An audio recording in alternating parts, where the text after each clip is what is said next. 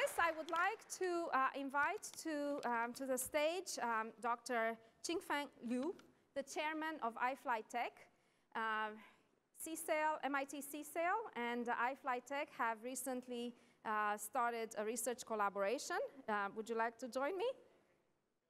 And um, uh, so uh, Qingfeng uh, is the chairman of iFlyTek. This is a company he founded in 1999, uh, so quite a long time ago, before the big wave uh, in AI. Uh, and iFlyTek is an industry leader in the world of speech. it has 70% of the, um, of the speech market in China, and it has a market capitalization of over 25 billion RMBs. it's really amazing. Um, so, uh, Qingfeng, okay. I want to start um, by asking you uh, if you can tell us a little bit more about your education. What did you study, with whom, and where? And how did you have the visionary idea to, um, to start iFlyTek in 1999, uh, way before um, the big wave in AI? Okay, thank you for your question. I'm so glad to attend this uh, panel discussion. And in order to express more clearly, I will use Chinese. yeah. 所以我用中文来回答。 OK, please. So I and the, yes. then I need this. 我用中文来回答，主要是因为我的口语没有小欧那么好，解释不清楚。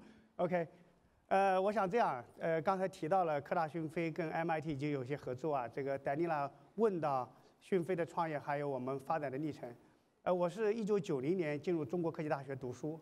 九二年就非常荣幸被我的导师选到科大的人机语音实验室，所以我们经常说科中国科技大学是中国的 MIT，是因为它是最早让学生参加科学研究、本科生参加科学研究的大学之一。那么九五年我开始上研究生的时候，就非常荣幸能够在一个十几人的 team 中来负责来做语音技术研究。所以九八年我们在中国首次让中文语音合成，就计算机练英语。达到了可实用的门槛。九九年，我们创办了科大讯飞公司，是六个中国在校大学生创业的公司。那时候我在读博士。那么，二零零八年，我们成为中国在校大学生创业的第一家上市公司。那我非常高兴的给大家报告呢，呃，在过去这些发展历程中呢，呃，我们一直有个梦想，说让机器要像人一样能听会说，因为语音是人类最自然的沟通方式。那么，二零一二年，在国际的英语合成比赛。由卡内基梅隆大学牵头的叫布列达的千灵节这个比赛中，我们首次让计算机说英语达到了人类的平均水平四点零分。二零一五年底，我们在中国第一次让计算机语音识别听写我们讲话超过了人类的数纪元。那么去年二零一七年，我们很高兴让机器通过了国家职业医师资格考试，中国的国家职业医师资格考试。那么今年呢，呃，又在一月份。使得机器的自然语言理解在 SQUID 的比赛中超过了人类平均水平。但我想呢，下一步在让机器能听会说上还有非常大的挑战，比如说语音合成，四点零分，普通人说话水平能不能变成像小欧这样的有感染力，对吧？呃，语音识别安静情况下可以做到百分之九十八的准确率，但是在噪音环境下，今年的国际比赛叫 Chime Five 这个比赛，我们是第一名，但是只有百分之六十不到的准确率，还有很长的路要走。那么今天呢，非常高兴的是，在科大讯飞的人工智能平台上，每天有四十七亿人次在使用我们的技术，有八十六万的第三方团队在用我们的成果开发各种应用。我相信，随着我们跟 MIT 在源头技术上的合作，随着我们整个人工智能在更多领域的应用价值的显现，我们用人工智能建设美好世界的未来会有一个更广阔的空间。谢谢，嗯，Thank you，嗯嗯。Organizations entered into a collaborative research agreement yeah. recently, yeah. and um, we are developing long-term research in AI for a better world. Yeah. And there are three projects. Uh, the first project is um, towards unsupervised speech processing. This is focused on advancing speech understanding for languages where we do not have um, data. The second project is reverse engineering child learning, and this is to understand the biological mechanisms of uh, learning and use new types of algorithms. And the third project um, is using subtle behavior to detect signs of cognitive decline. And uh, this is to um, develop technologies that assess cognitive function. Um, in your view, um, how is, um, uh, why is the collaboration with MIT valuable for iFly Tech? Yes 啊，其实 MIT 一直是我们非常尊重、很仰慕的学校啊。这个， 呃，而且 MIT 这次提出来的 QI 计划也是我们发自内心的非常认可的这个方向。那么，其实我们跟 MIT，我想这种合作，首先是大家有个共同的理念，就是，呃，用人工智能建设美好世界，就 Research for a Better World。啊，另外呢，其实。在刚才戴丽娜提的这些研究方向中，科大讯飞也是在很多年前就一直在关注这些方向。今天我们看到说，人工智能下一步在发展，面临着几个非常大的挑战。就今天的深度学习已经可以在很多领域得到应用，但是呢，它还面临着很大的门槛，要进一步突破。比如说，我们必须要海量的数据来训练，能不能变成少量数据，甚至没有数据也可以学习？比如说，我们现在训练的时候需要很多的人工的参与，能不能做成无监督学习和训练？下一步如何去模仿人类的学习？所以我想刚才呃戴丽娜说的这几个方向，都是科大讯飞一直在考虑的。而我们到了 MIT，除了像戴丽娜计算机很有名的呃这个专家，机器人的专家，Eric 是图像的专家，还有很多的 MIT 我们先进的教授，都跟科大讯飞的研究团队一见面就非常兴奋，大家碰撞出很多的合作的火花。我想呢，大家相互的尊重和研究的认可度，也是我们合作非常重要的原因。所以，科大讯飞跟 MIT 合作，不仅是在研发上的支持，我想我们在很多研究路线上前期的积累，以及未来在应用场景上如何使得研究能够形成闭环，不断的把应用过程中的相关的经验反哺到研究中，形成更好的闭环。我觉得这都是我们跟 MIT 合作非常有意义的呃方向和将来要探索的领域。So both of our, uh, both of our uh, organizations are very focused on the use of AI yes. for a better world. Yes. And um, in, uh, in your view, um, when uh, we enter um, this collaboration, um, what should be our shared values uh, in the collaboration? Um, is there room to work together to create a common chart for um, values in AI in general that go beyond the values of our collaboration? Yes 啊，其实我想这样哈，刚才丹娜提到的共同的价值观，以及未来在合作中怎么做，我想首先从大学和企业之间的大家在合作的角度上，大学主要是培养人， 培养完人以后，希望在研究上能够为人类做贡献。那么企业呢，也需要人才，另外希望是把大学的科研成果更好的推动到对社会的进步和发展中来。这个大家的合作有非常好的基本面，但是真正的基本价值观。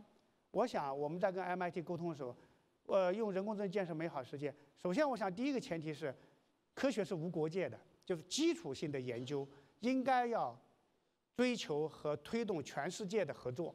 那么，第二个，在基础研究的前提下，怎么样让人工智能更好的建设美好世界，需要法律、需要伦理和人文层面的相关沟通。所以，在这个时候，更是需要全球的合作，特别是美国和中国之间的合作。那么，呃，还有我们说到的，在合作中要有共同的价值观，中包括对原创性技术成果的尊重，对用户权益的保障等等，我想都应该做到。那么再回归到刚才说，如果有没有一个相对明确的未来的路线图？我认为我们今天要回答的，在 MIT 提到的 QI 这个方向上，真正的建设一个更好的世界，a better world，到底是什么样的一个更好的世界？我想它应该是几个方面。第一个，通过人工智能或者我们新技术成果，让人类的生产方式发生重大变化，更好的生产出各种生活资料，满足我们的需要。比如说，使得我们的工业生产极大的提升。第二个，在提升工业生产之后，能不能让人类的服务能力上个大台阶？比如说医疗，我们去年通过了中国的国家职业医师资格考试，现在试点已经让机器可以看三百多种病，今年底希望到一千种病。将来所有最边远地区的农村。的村医们看病都有人工智能帮助，教育让每个孩子都有因材施教的老师，通过翻译让全世界更自由的交流。我想第二个 Better World 的第二条就是说，能不能用人工智能使得社会服务、人类的生存保障得到更大的提升？但第三个特别重要就是说，如果我们有吃有喝有穿，我们得到最好的医疗和教育，我们幸福不幸福？什么是幸福世界的表现？就是我们每个人开心不开心？假如说人工智能把我们所有工作都替代，我们人类最后没事可干，大家闲在家里又没有精神寄托，我想那不是我们所想象的美好世界。所以我特别期望在下一步的研发路径中，讯飞现在也提出来，就人怎怎么样做人机耦合的模式，通过人工智能在脑科学、数学方法的进步，使得无监督学训练、个性化训练能够更快的落到实处，从而可以为我们每个人。做 AI 助手，做人工智能助手，让每个人站在人工智能的肩膀之上，而不是被淘汰出去。所以，我想这个就是使得所有人都能够在人工智能时代，能够发挥他的创意和想象力，而不是让人工智能是少数企业和个人的事。我想，这不仅是技术路线，也是社会伦理和未来价值观发展的要求。所以，我想，呃，围绕这几个领域，其实今天的 MIT 这个这个主题论坛是非常非常有价值的。Um, I think we have time only for one more quick question. Okay. So we are here in, um, in China, and this is uh, the first MIT AI uh, Summit. It's a historical uh, moment. Um, in your view, what are the best ways in which China and US should cooperate uh, in industry and uh, university partnerships to serve the world better? And what should be the role of universities, um, industry, and government in these um, in these collaborations. OK，呃，首先我觉得，呃，中美之间 或者全球在人工智能这样的新技术里都应该要进行合作。那么，其实从 MIT 还有美国很多大学是在源头技术上是有非常强的创新能力的。而今天呢，中国有全世界最多的人口，我们在人工智能的应用过程中是有很多优势的，无论是应用的场景，还是说用户的呃使用模式的设计，我想企业界。发挥它的特长，提供应用的平台，帮助大学的科研更好的跟实践对接，而且把实践中的成果和反馈反哺回去，让学校更好的做基础研究。我觉得这种就是从源头技术创新到产业应用到用户的人文关怀这个链条，是需要企业和大学共同来参与的。那么说到，而且中美之间正好有很强的优势互补。但我也特别高兴地看到，有很多中国的源头技术创新的企业，跟美国大学，比如说跟 MIT，是不仅在应用上有帮助，大家在研发上也是可以相互启发和共同前进的。另外呢，说到刚才大家提到的大家的角色，我想大学主要还是培养人和做前瞻性对未人类影响未来的研究，而企业的主要作用应该是把科研成果，无论是自己做的还是跟大学合作的，推向应用，推动社会。的发展进程，而政府呢，应该提供一个更加开放的平台，让大家更好的去协作。然后，呃，在一些真正的前沿基础性的研究中，应该说政府要承担更多的责任，应该做更大的基础投入。比如说，中国和美国都有国家基金委、这个自然科学基金这些项目，要做对人类未来的探索。有有些情况下，企业的经济不够时，应该要靠政府做第一笔的投入了。这个我想全球都一样。而且我还有一个，我觉得。提到了这个合作啊，其实几年前有个非常重要的一个合作的项目叫 SUM 联盟，S U M S 代表 Stanford，U 是 U-S-T-C 中国科技大学，M 是 M-I-T，就是推动高校的科研成果跟产业化对接的。现在中国深谷，就中国的语音的产业基地是围绕中国科技大学在合肥建立的，就是跟当时的 SAM 联盟的触动因素也是有关系的。那么。呃，我你看今天中国人工智能五大平台，呃，小欧跟我，呃，除了呃百度、腾讯、阿里巴巴，然后新设的就是科大讯飞和那个商汤科技，我跟小欧都是科大毕业的。待会要上来的雅琴也是中国科技大学的，百度的总裁。所以中国科技大学对中国人工智能的影响是非常大的。今天上午，呃，潘建伟教授做量子通讯，量子跟人工智能也有结合，也是中国科技大学的。我想，中科大在人工智能领域是有非常强的对中国的研究和产业化的影响力，也有很好的实践。而 MIT 又是美国做人工智能最早发起人工智能，而且有这么好的这个基础。我也特别期待，不光科大讯飞跟麻省理工能合作，中国科技大学跟 MIT 跟麻省理工也有更深的合作。谢谢。嗯。Thank you very much. 谢谢。Well, I look forward to. fruitful collaborations for a better world. Okay, thank you, thank you. We cooperate together.